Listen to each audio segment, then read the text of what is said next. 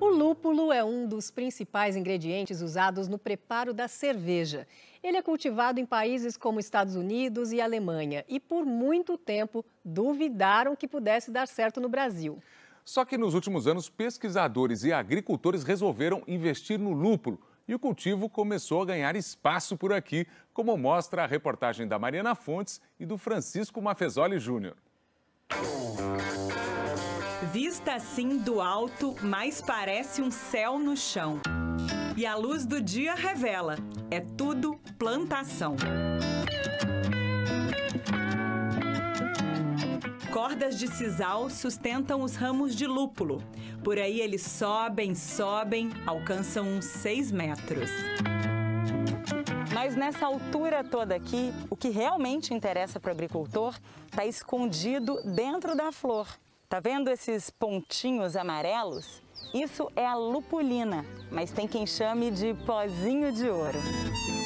Esses grãozinhos valiosos contêm resinas e óleos essenciais que trazem amargor, aroma e ajudam a conservar a cerveja. O Brasil é o terceiro maior produtor da bebida no mundo, mas praticamente todo o lúpulo usado na fabricação vem de fora. Só que nos últimos anos, os cultivos comerciais floresceram. E hoje, a Associação de Produtores de Lúpulo, a Aprolúpulo, tem 160 agricultores espalhados pelo país. Uma das fazendas fica em Fartura, São Paulo. Nesses 6 mil metros quadrados, o sisal desce em pares, desenhando um V na natureza, o lúpulo trepa noutras plantas como um lobo tentando abocanhar sua presa. Daí o nome Humulus lúpulus. Humulus é o humus, aquela parte do solo cheia de matéria orgânica. E lúpulus, lobinho em latim. Mas aqui, o Zé Mário precisa conduzir os ramos. Se deixar ela sozinha, ela não sobe. A maioria, elas vão meio que rastejar pro chão aqui, elas não vão conseguir subir. E essa trepadeira cresce mais quanto mais horas de luz. Os principais países produtores têm condições perfeitas para isso. Estados Unidos e Alemanha ficam em regiões do planeta onde os dias de verão são mais longos que no Brasil. O lúpulo aproveita esse chamado fotoperíodo para subir e dar flores antes do inverno chegar. Esse reloginho do lúpulo é uma estratégia de sobrevivência. Mas aqui no Brasil, isso pode ser um problema. Por causa da nossa posição geográfica, a gente não tem tantas horas de luz solar durante a etapa de desenvolvimento da planta. O risco é ela produzir menos hormônio e parar de crescer. A solução para isso foi trapacear iluminar a plantação para fingir que o dia não terminou.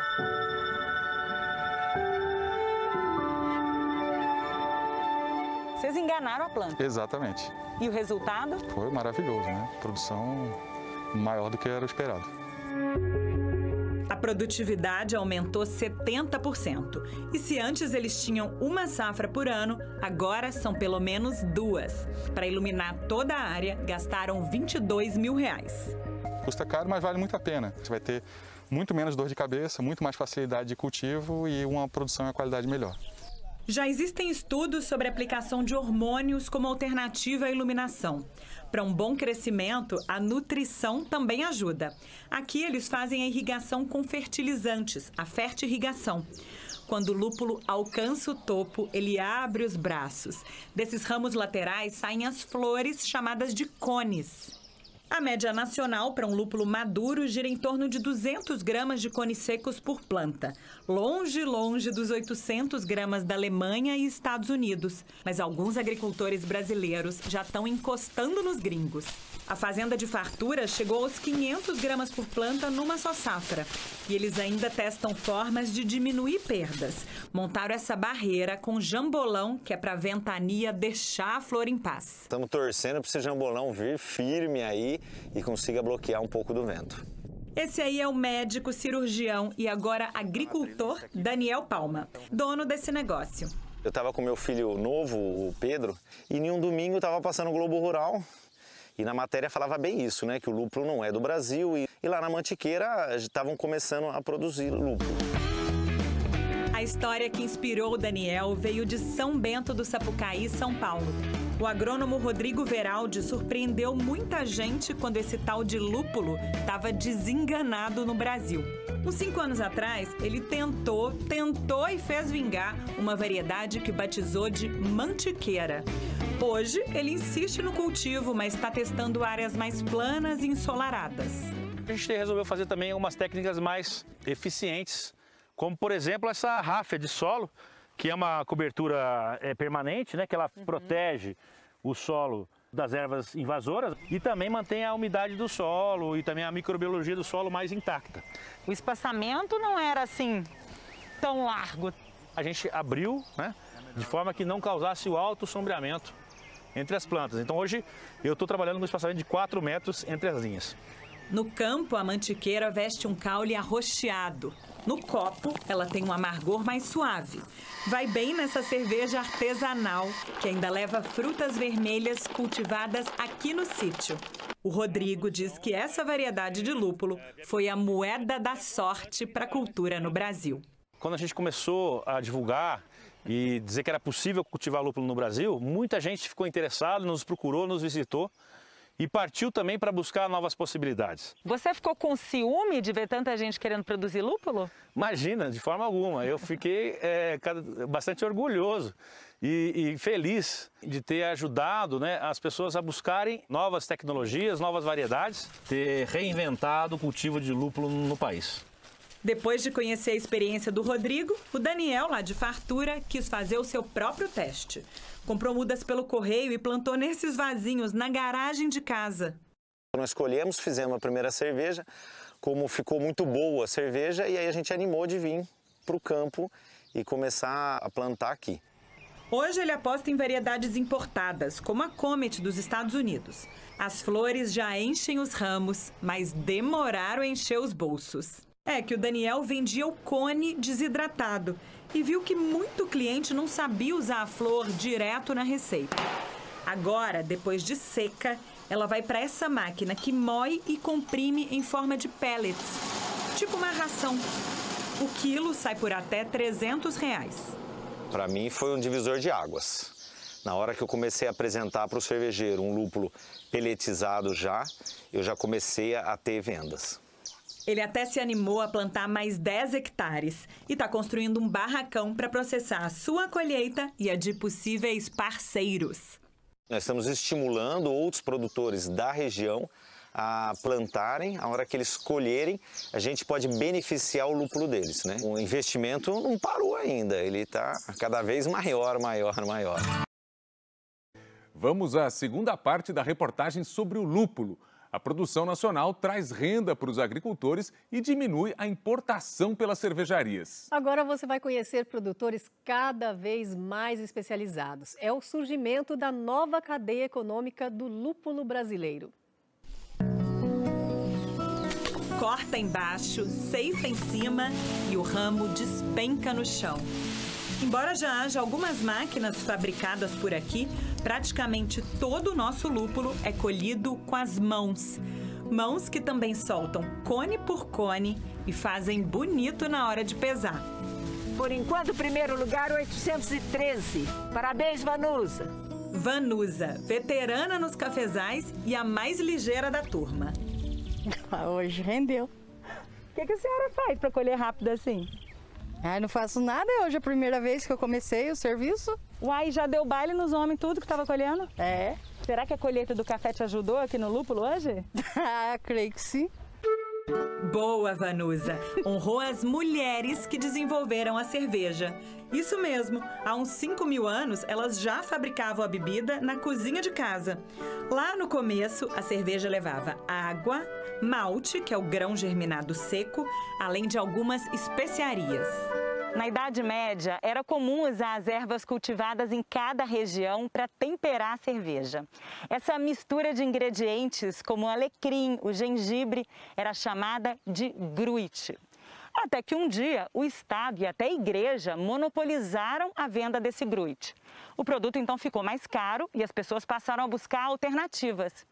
Aí, uma planta foi ganhando espaço e conquistou a preferência dos cervejeiros e cervejeiras tinha chegado a vez do lúpulo. Há monja Hildegard von Bingen, ela era uma estudiosa, uma pesquisadora botânica, médica, era uma sumidade para a época. Ela era mestre do mosteiro de von Bingen na Alemanha.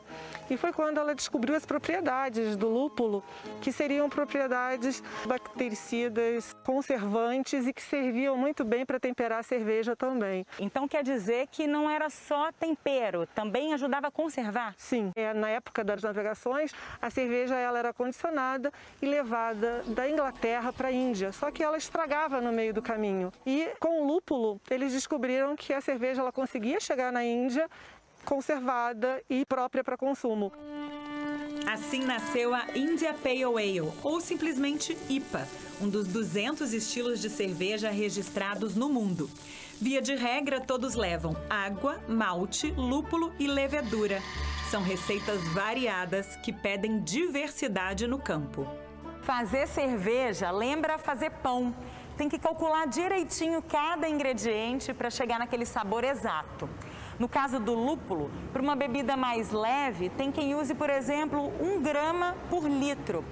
Já para uma cerveja mais aromática, mais amarga, dá para usar 20 gramas do produto. E além de acertar na matemática, o cervejeiro tem que conhecer as variedades diferentes de lúpulo disponíveis no mercado.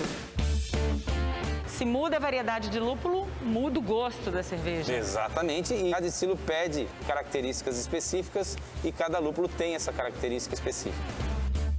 Bruno é dono dessa cervejaria em Sorocaba, São Paulo. Uma das dez cervejas que ele fabrica já é feita com lúpulo nacional. Hoje, dá para você trocar o lúpulo de todas as cervejas que você produz aqui por lúpulo feito no Brasil? Ainda não há essa possibilidade porque nem todas as variedades de lúpulos estão sendo produzidas aqui no Brasil. Se a gente conseguir fazer com que mais produtores se envolvam nisso em locais diferentes do Brasil, eu acredito que a gente consiga substituir por produtos nacionais. Lúpulo tupiniquim chega mais fresco, mas o cervejeiro precisa confiar nas características do produto em qualquer safra. Por isso, Flávio Novaes, engenheiro, montou um laboratório em Mogi das Cruzes, São Paulo. Aqui ele analisa o amargor e o perfume da lupulina. As amostras vêm de várias regiões do Brasil. Eu já fiz análise de lúpulos com baixíssima qualidade, porém no último ano eu estou fazendo análise de lúpulos excelentes. Para atender o produtor do fim até o começo, o Flávio também propaga mudas. Essas plantas aqui têm de 1 a 5 anos e já são matrizes. São elas que vão produzir os clones para preparar as mudinhas, isso. né, Flávio? Uhum, isso mesmo. Como é que você sabe que uma planta está pronta para ser mãe, digamos assim? A gente tem que reparar que as plantas elas começam a soltar essas ramas laterais que vão servir para a gente clonar. Dessas estacas, ele faz as mudas que são vendidas por até 40 reais. Para entrar para esse negócio, o Flávio arrumou dois sócios meio por acaso. É que o cunhado dele, o Caio, contou a novidade para o amigo Felipe. Ele falou, Felipe, meu cunhado está produzindo. Falei, cara, ninguém produz lúpulo no Brasil, isso é inviável, nem literatura tem. Aí que eu apresentei um para o outro e começou toda essa história. Você fez o meio campo ali. Exatamente. E entrou de sócio. Lógico. A bola já estava no pé, tinha que chutar, né? É, a cadeia do lúpulo tem se desenvolvido graças a muitos corajosos. E boa dose dessa valentia vem de Teresópolis, no Rio de Janeiro. Esse conjunto de montanhas na Serra Fluminense lembra um corpo feminino deitado sobre a Mata Atlântica. Seu nome, a Mulher de Pedra, pois foi na potência desse cenário que uma outra mulher de carne e osso se tornou uma das pioneiras na promoção da cultura do lúpulo no Brasil. Por mais de 30 anos, a Tereza fez mudas e vendeu sementes de hortaliças. Só foi pensar em lúpulo graças à insistência de um amigo. Ele ficou falando de lúpulo, lúpulo. E aí aquilo foi me atiçando a curiosidade, comecei a pesquisar. E aí foi quando eu comecei a realmente me apaixonar pelo lúpulo. Um tempo depois a gente também descobri que era uma planta que ela, ela não tinha registro de análise de riscos e pragas. Então que ela não poderia ainda ser produzida no país. Ela batalhou para regularizar as cultivares de lúpulo no Ministério da Agricultura. Hoje, quase 50 variedades têm autorização para cultivo e venda no Brasil. A Tereza também certificou o viveiro onde produz mudas flutuantes, num sistema de hidroponia. De tempos em tempos, ela faz uma poda para estimular a produção de raiz. Mais raiz significa mais produtividade, uma planta mais forte, mais firme, que vai sustentar uma estrutura que chega a 7 metros de altura, né? Para o cliente isso é ótimo. Nossa, é maravilhoso. É o que o cliente quer receber. A clientela da Tereza está espalhada pelo país, mas o principal comprador fica pertinho dali. Em 2018, ela mandou cerca de 300 mudas para essa fazenda, que pertence a uma das maiores cervejarias brasileiras. E eles foram multiplicando as encomendas até chegar a 14 mil plantas. Ele já tá dando cone, ó. Tem um cone lá em cima, começou a abrir os cones. O Marquinhos acompanhou tudo desde a estreia. Nós fizemos bastante coisa errada no início, né? e a gente foi aprendendo na prática mesmo, no dia a dia. Chegou a perder planta, pô? Chegamos a perder algumas sim. As que nós perdemos, na verdade, nós ganhamos, porque nós ganhamos experiência com o processo. Esse aqui é tipo um jardim de infância. Quando a fazenda quer testar uma nova cultivar, eles trazem a muda para cá com cinco meses e acompanham o desenvolvimento dela para ver se a planta vai crescer forte, saudável, se vai ser bem produtiva. Quando chega a hora da colheita, é o momento de avaliar se aquele lúpulo também é bom para produzir cerveja. De 0 a 10, se ela tirar pelo menos 8, significa que a planta tem uma boa probabilidade de ser promovida e vir para uma área de cultivo comercial como essa aqui. Essas plantas aqui passaram no teste. Sim, essas são cultivares que já podem ser utilizadas nas nossas cervejas. Além de vender o produto na internet, a cervejaria usa esse lúpulo em receitas artesanais. E elas são desenvolvidas com a ajuda do Rüdiger Goethe, um mestre cervejeiro de família alemã, nascido em Niterói, no Rio de Janeiro. O Rüdiger ferve o mosto, que é a mistura de malte com água. Os cones são adicionados durante a fervura para passar amargor e aroma. Mas tanto calor faz com que parte dos óleos essenciais evapore. Por isso, uma nova quantidade de lúpulo reforça o perfume depois. Essas dosagens também são feitas no processo industrial, com lúpulo peletizado. O Rüdiger preparou aqui pra gente dois estilos de cerveja para mostrar as diferentes possibilidades do uso do lúpulo, né? Essa primeira aqui qual é? Essa primeira é um estilo de cerveja da escola alemã, totalmente 100% com lúpulo brasileiro. Enquanto que essa aqui, nós temos aí é, três tipos de lúpulos para trazer o amargor mais o aromático que aí trabalha notas de frutas tropicais. Posso provar? Deve.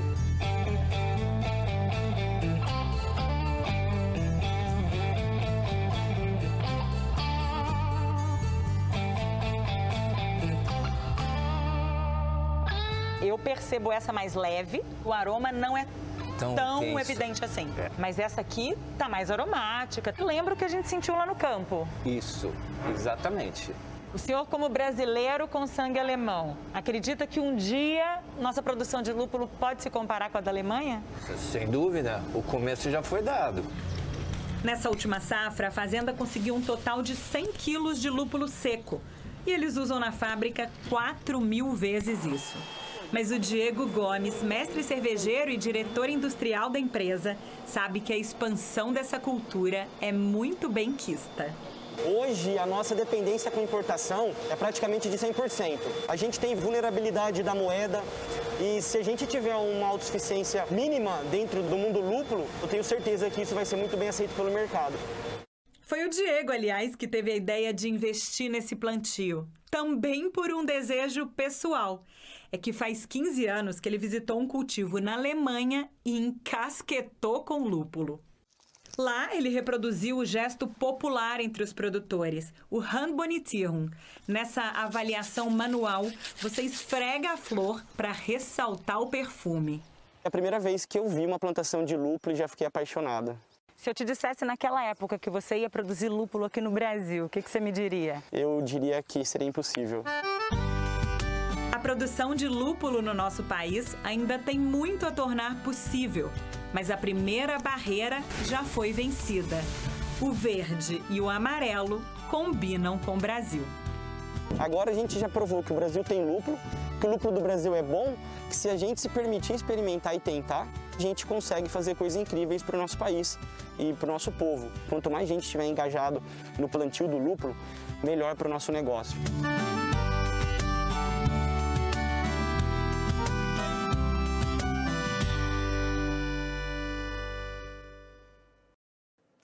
Além de ser usado na produção de cerveja, o lúpulo também entra na indústria farmacêutica e na fabricação de cosméticos. Se você se interessou, a Associação Aprolúpulo tem um manual de boas práticas e a lista de consultores especializados. O endereço está no nosso site.